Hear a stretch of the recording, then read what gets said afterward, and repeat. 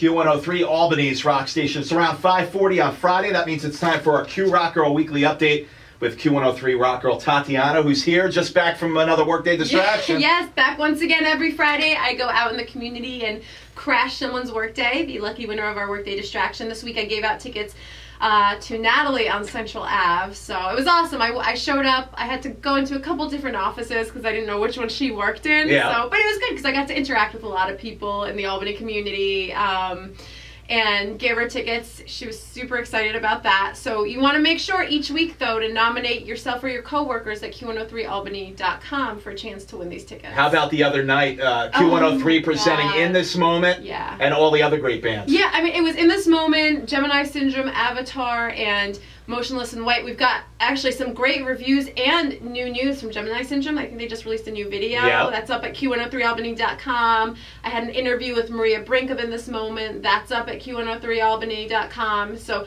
lots of good reviews. Get all the details on the show, but that was just phenomenal. Huh? And it was great, great to meet all the listeners out there. Yeah. And we're getting ready for free beer and hot wings to come into town on Friday. That's Yes. going to be a lot of fun. Yeah, morning live broadcast and a happy hour in Saratoga. King's Tavern, the happy hour in the morning, live broadcast from City Line Bar and Grill, right? Right, right across from you, Albany. So you know that'll be a party that Of morning. course. Gonna, gonna be packed.